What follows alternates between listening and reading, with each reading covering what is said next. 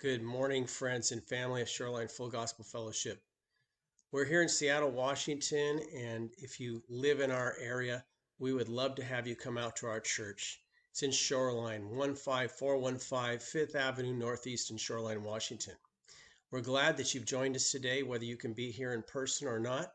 We want to thank you for joining us. We want to thank you for your prayers for us, for your support for everything that you do and uh, just for listening in because we want the Word of God to be disseminated in such a way that everyone that is out there can hear the Word for themselves, can take it into their hearts, and those seeds can be planted deep in our hearts and grow. We want to see you grow.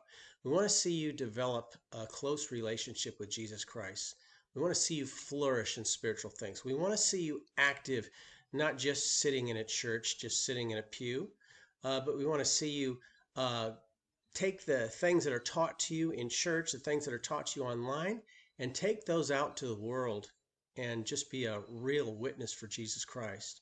So thank you for joining us. Um, before we begin getting started today, I want to remind you that if you've missed any of our previous messages, you can find those at our website, shorelinefullgospel.org. You can also find them on our YouTube channel, which is Shoreline Full Gospel Fellowship or on my personal YouTube channel, Tom Loud. On my YouTube channel as well, you can find uh, all kinds of resources that will teach you how to operate in the things of the Spirit, how to grow spiritually, how to just be able to go out there and do the work of God in an unsaved world and to show people Jesus Christ to be a light unto them. So check those resources out. I always suggest uh, starting at a series I did called Unlocking Kingdom Power, parts one through five. If you watch that, I believe it can change your life. So thank you once again for tuning in. I'm going to open with a prayer.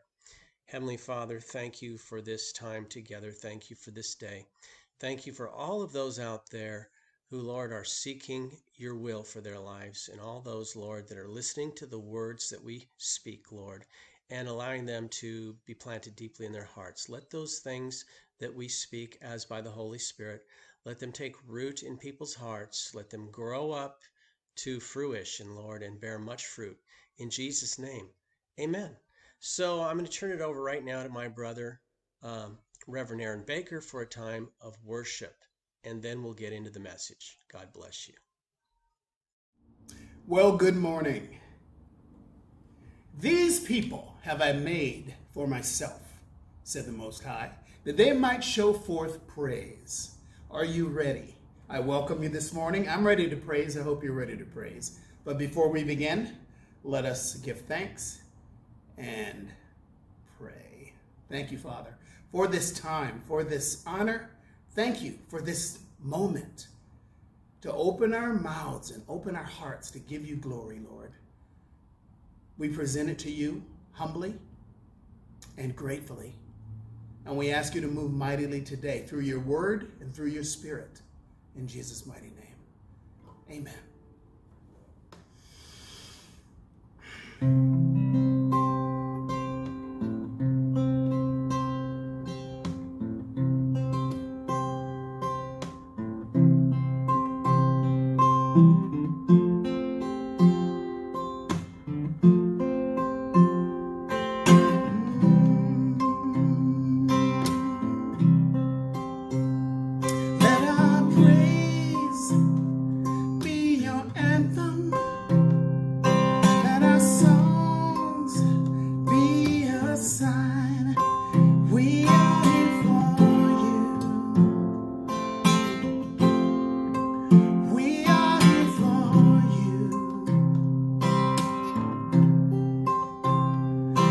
Fire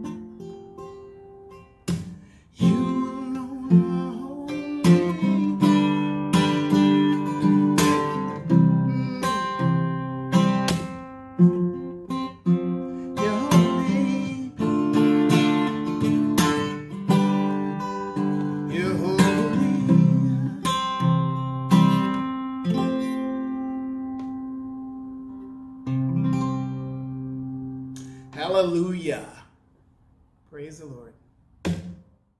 Well, welcome back. Thank you, Aaron, for that wonderful song.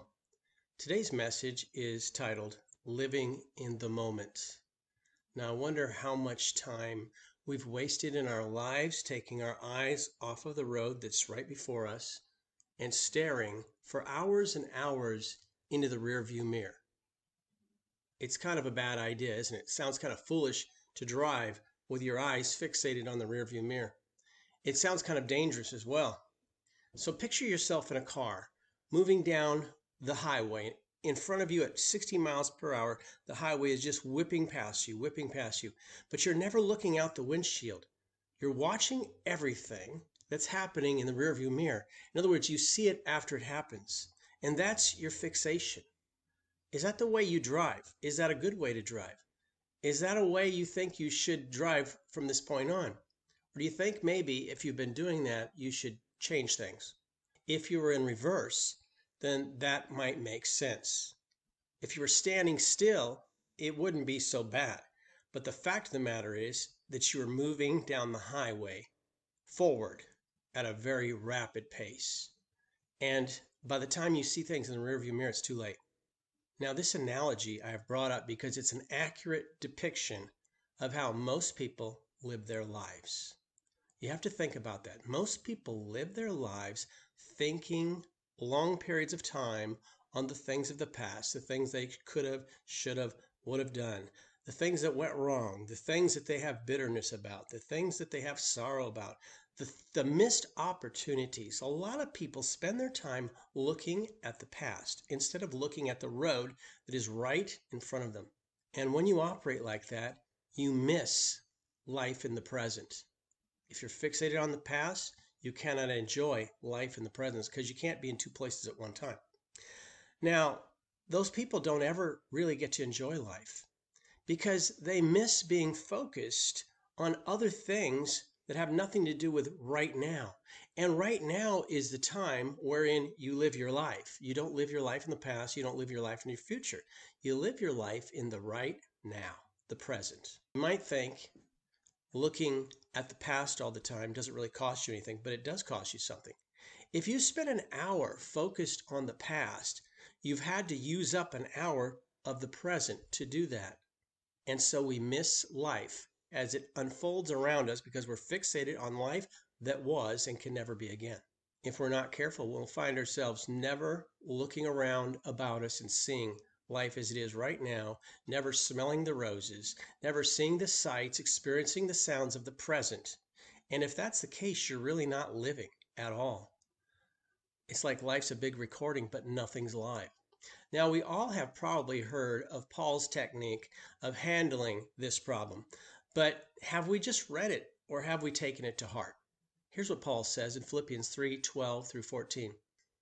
Paul says this Not that I have already obtained all this, or have already arrived at my goal, but I press on to take hold of that for which Jesus Christ took hold of me.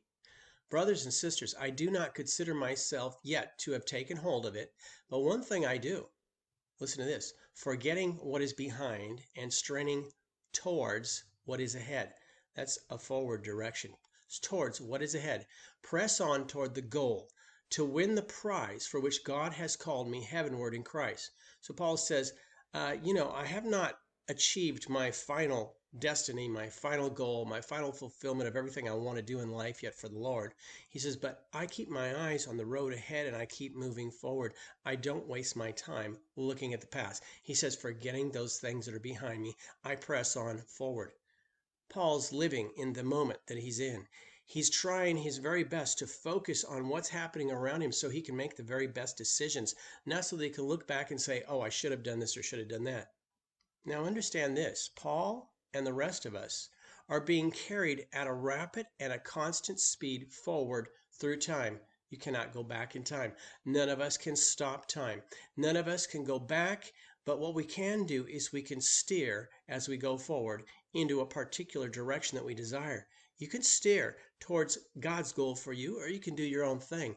But you have the ability to make choices that will affect your final destiny. Paul's destination was for something else. He was steering towards a goal that was of eternal value. He wasn't looking for the things on this earth to please him, but he was looking for those things that are eternal. Philippians 3:14 I press toward the goal to win the prize for which God has called me heavenward in Christ Jesus.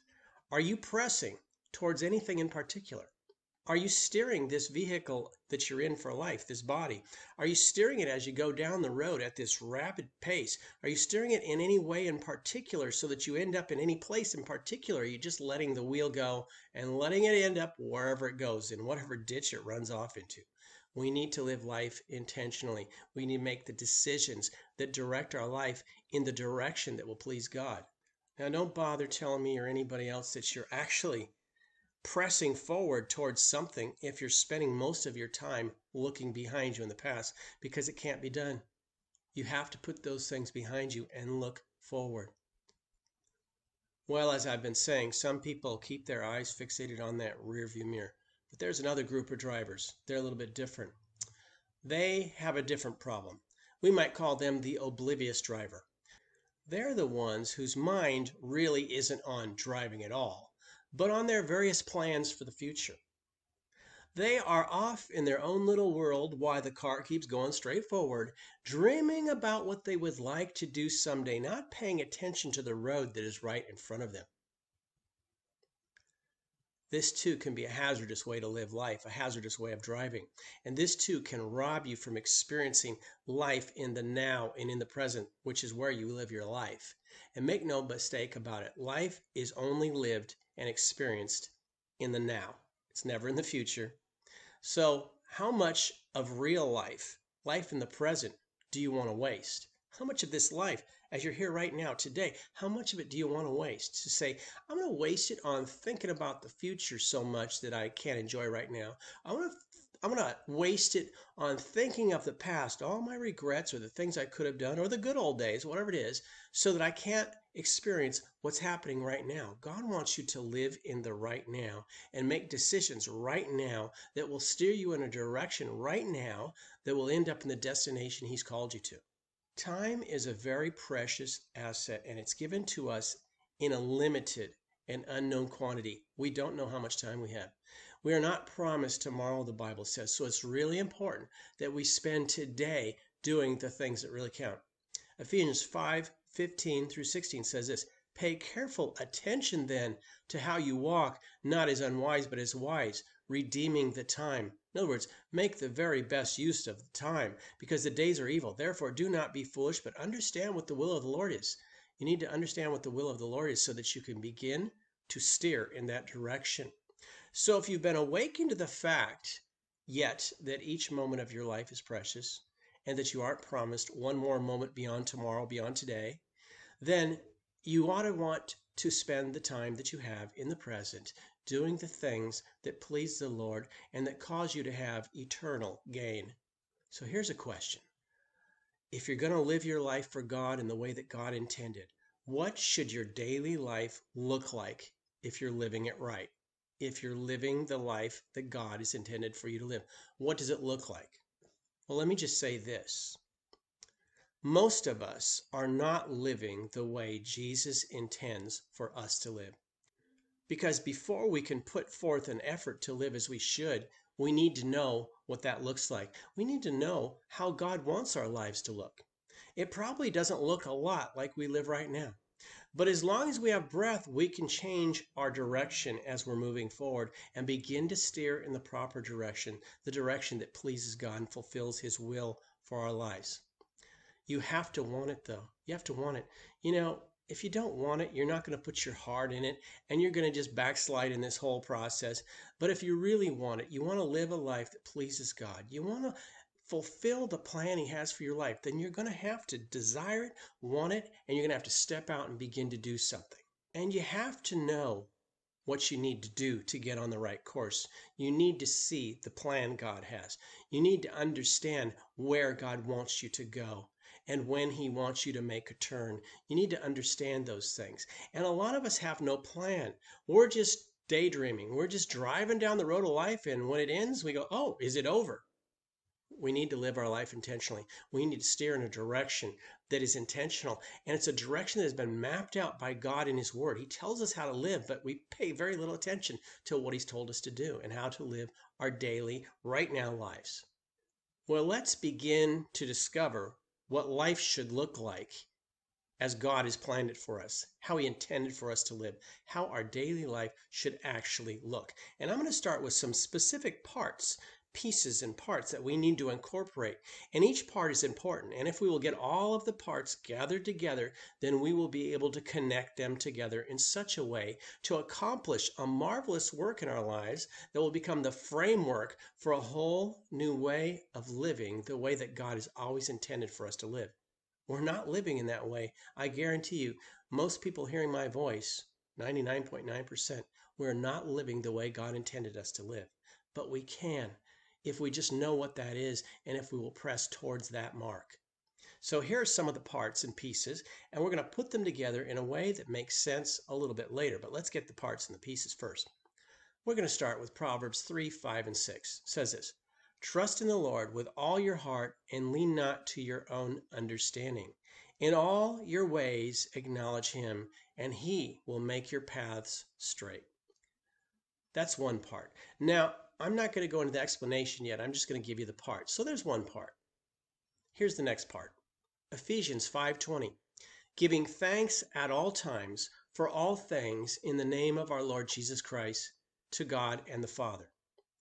Now, I'm going to comment on that in a little while, but that's just another part to the puzzle, part of what we're building here to a life that pleases God. Here's another part. Hebrews 13:15.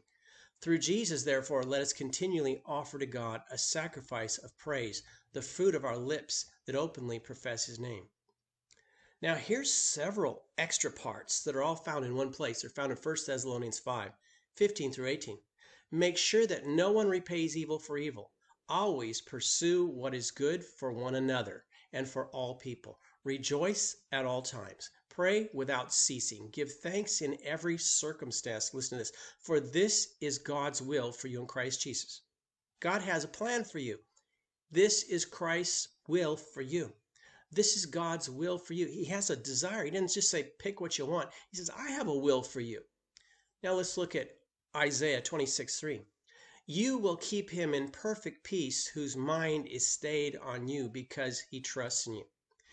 Now, if you actually paid attention to these parts, to these instructions from God's word, if you actually paid attention to them, if you actually collected them together, hooked them together, and said, This is the way I'm going to begin to live life, it would dramatically change the look of your life. It would change the direction of your life. It would change the atmosphere that surrounds you in the right here, in the right now. And do you know what atmosphere it would produce? It would produce a profound awareness of God's presence in your every moment of every day of life. Now, wouldn't you want that? Can you imagine if you could always experience the presence of God? You're aware of it always. You will begin to feel He's so close to you. You'll feel His breath on your neck. You'll begin to feel that the air around you charged with His presence. You'll begin to feel His majesty and His holiness and His awesomeness on a daily basis. Is that where you want to live your life? That's where I want to live my life. So, once again, back to the car analogy. The fact of the matter is this when you're traveling in your car and your thoughts are somewhere else, you're daydreaming about something else. You're thinking about something else. You cannot fully experience what is actually around you at the present. You don't even realize, oh, how did I get here? Oh, I drove home and didn't see a thing because my head was so off in the, some other distant thought. You miss living life in the now because you're not paying attention to the now.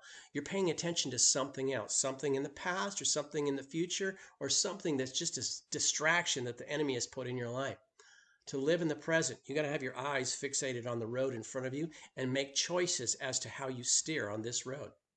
God's presence can only be experienced in the present. Think about that.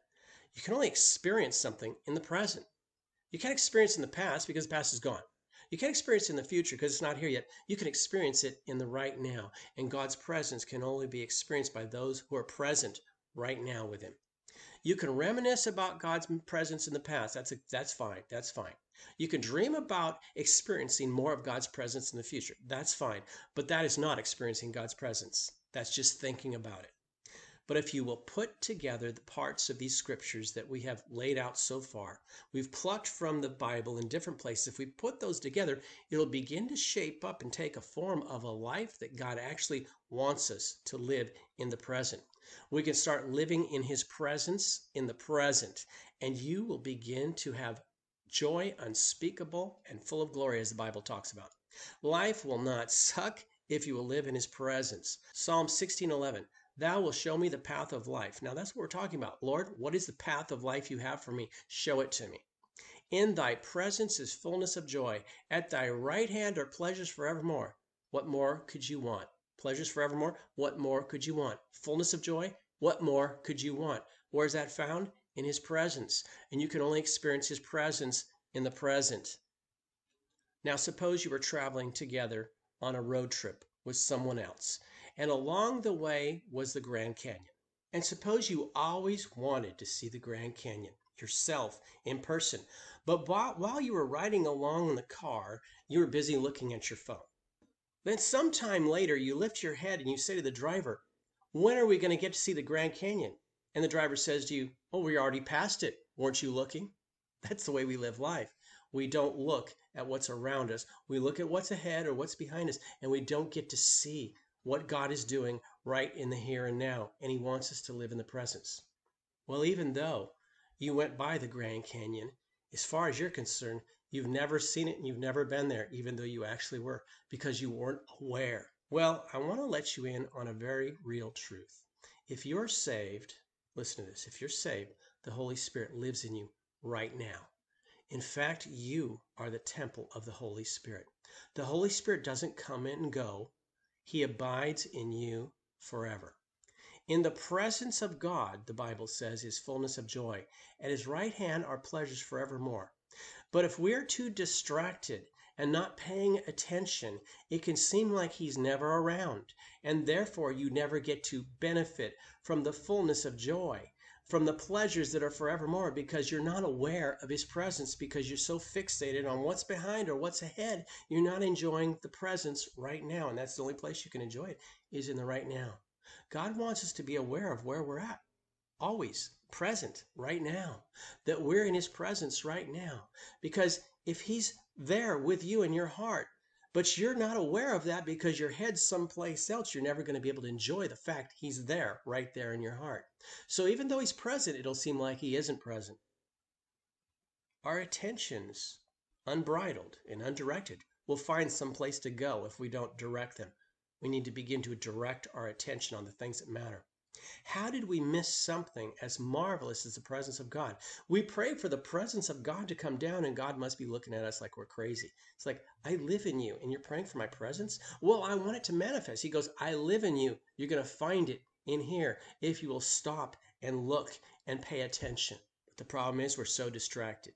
We're distracted by the things of the world. They could be good, they could be bad. They could be the horrible news that's on the television or the wonderful thing that you're going to do, the, the trip you're going to take next week. Whatever it is, it's a distraction from right now. And God wants us to live in the present.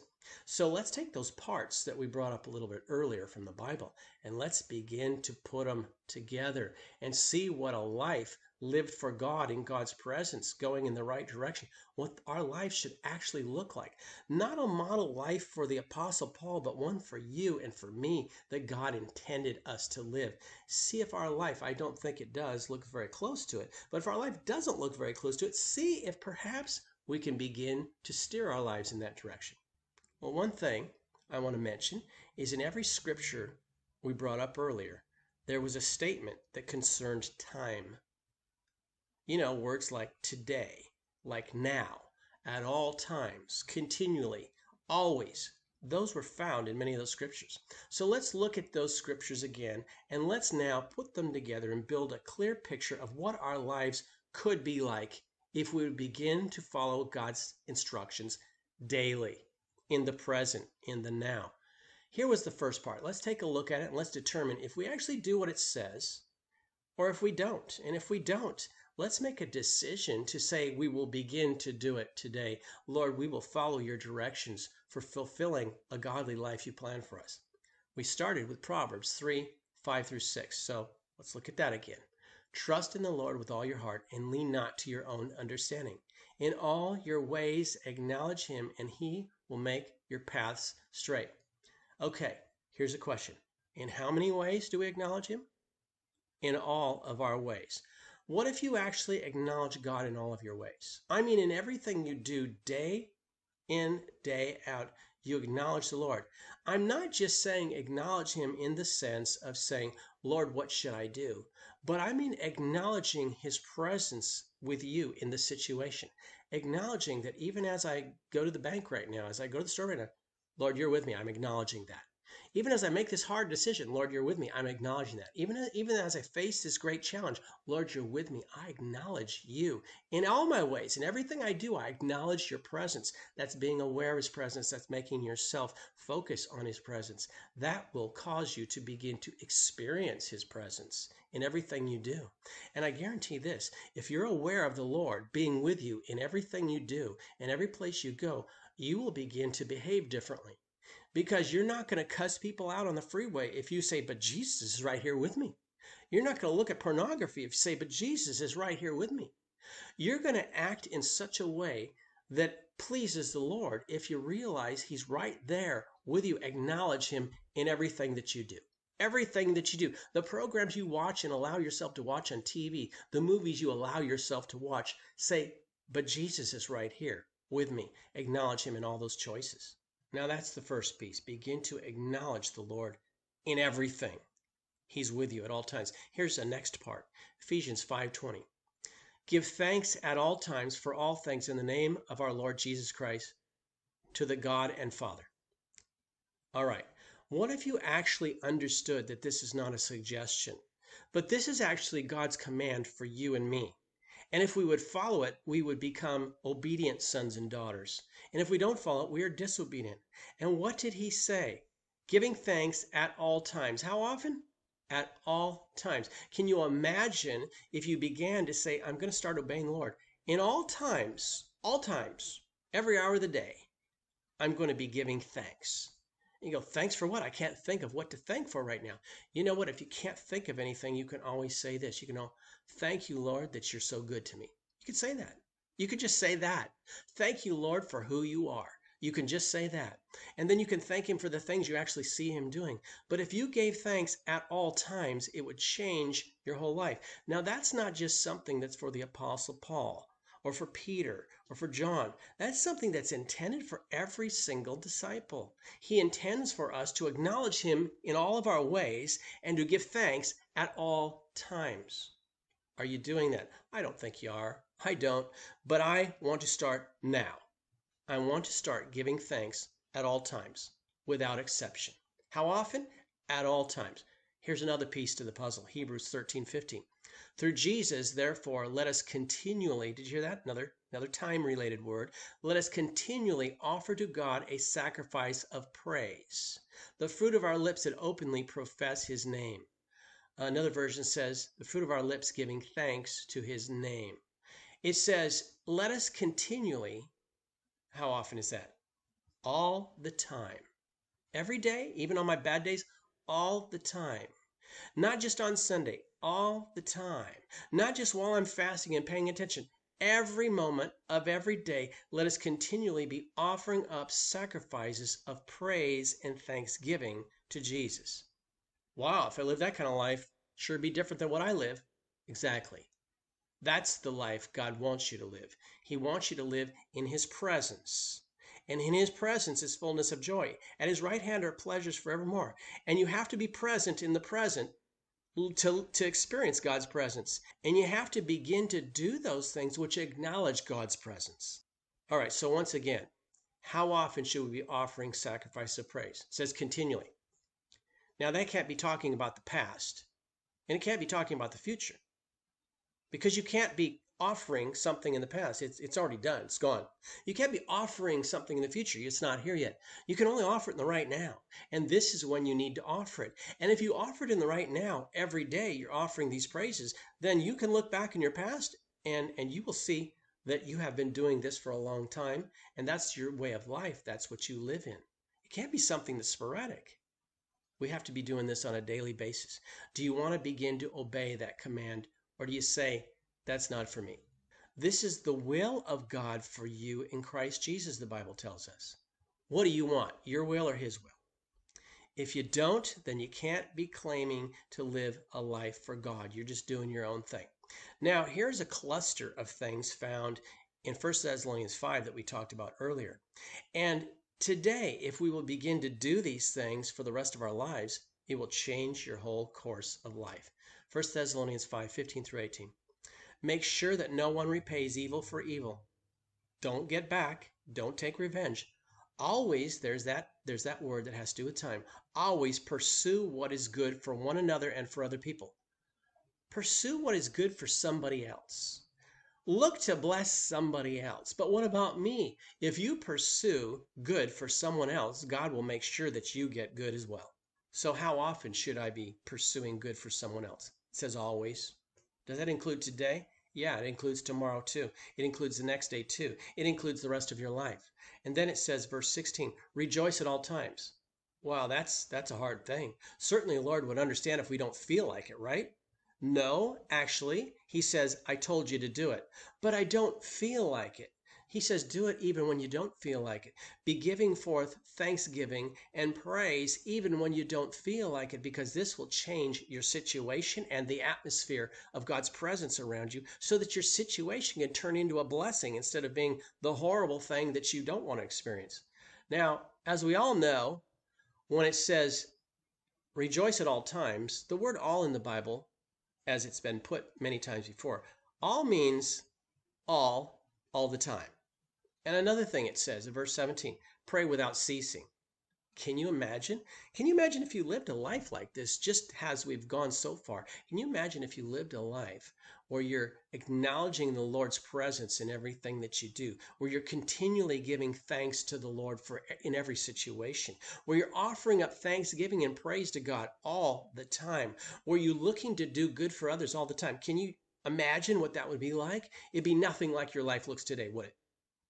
Well, that's telling us something. We're not living the life God intended us to live. But if we would, we would experience God's presence all the time. And what happens if you experience God's presence all the time? Well, in his presence is fullness of joy. At his right hand are pleasures forevermore. What more could you possibly want? So, this last scripture we read, verse 17, 1 Thessalonians 5, pray without ceasing. That means without stopping. Now, wait a minute that would take some kind of concerted effort. I mean, it's easy to get distracted. Surely it means pray when you have some time, right? No, it means pray without ceasing. Does that include today? Yeah, it includes today. It includes today and forever forward. Does that mean that we have to spend all day on our knees? No, that's not what it's talking about. It means we have to stay connected in our conversation with God throughout the whole day and as long as we are awake. We keep a conversation going. Prayer is a conversation between us and our Heavenly Father. We keep it going. Sometimes it's asking for things, but sometimes prayer is just talking to God, just telling Him how good He is, just saying, Lord, which way would you like me to go? It's just talking and conversing with God. Keep the line open. Never hang the phone up on God. Always leave the line open. That is praying without ceasing. Then we get to verse 18 in 1 Thessalonians 5. Now listen to this. Give thanks in every circumstance. That's not all it says. I'll just start with that. Give thanks in every circumstance. Wait, this is a terrible circumstance that I'm in right now. I know you're not giving thanks for it, you're giving thanks in it. In the midst of the circumstance, you begin to praise God, and God will take hold of your circumstance and change things. But here's what it says Give thanks in every circumstance. Well, I don't know if I want to do that. I want to complete the verse. Give thanks in every circumstance. Listen to this. For this is God's will for you in Christ Jesus. You want to know what God's will is? People say, I want to know what God's will is. I'm going to go to the prophet and find out what God's will is. Tell me what God wants me to do. Well, you know what? Start with the plain things. First thing he wants you to do is live a life where you give thanks in all circumstances because this is God's will for you in Christ Jesus. Well, I don't like that will. Then you don't want God's will. If you really want God's will, you'll say, I want that. I want to begin to do what pleases Him. Now, does God really expect us to give thanks in every circumstance? Yes, in the midst of the circumstance, He does. But if I actually obey God's word and began now to do all these things we just talked about that He's told us from His word, my life would look radically different than it's ever been. That's right, it would. And that's the life He wants you to live. You see, if your life looks so much different than what I've described, and most of us ours does, we're not walking in the center of God's will. We say we want to, we need to begin to do it. What would that kind of life actually be like if we lived that life that is described in God's word that we should be living? Isaiah 26, 3 says this You will keep him in perfect peace, whose mind is stayed on you because he trusts in you. You know what? If you keep your mind, your awareness of the right now stayed, remaining on the Lord, on His presence, you'll find that you're in perfect peace. Do you want perfect peace? How many people don't live in perfect peace? Much of the reason people don't live in perfect peace is because they don't keep their mind on Jesus. They keep their mind on everything else. And those are distractions that are on the left and on the right. And those are the distractions that are in the future and in the past, but they're not in the right here, right now, where you're at today. And that's where God wants us to stay in the present because He's ever present. He's never in the past, He's always in the right now. He is the God who is. He says, I am that I am. That word am means is in the present term. He's always in the present tense. God is never in the past, He's always in the present. He lives outside of time always in the present. He wants us to live always in His presence. Now, who doesn't want to have perfect peace? Who doesn't want to have fullness of joy? Who doesn't want to have pleasures forevermore? Now, pleasures forevermore. That kind of sounds like up in heaven, I'll get this great pleasure that lasts for eternity. But that is not exactly what it's saying. Forevermore means it starts here and goes all the way into heaven.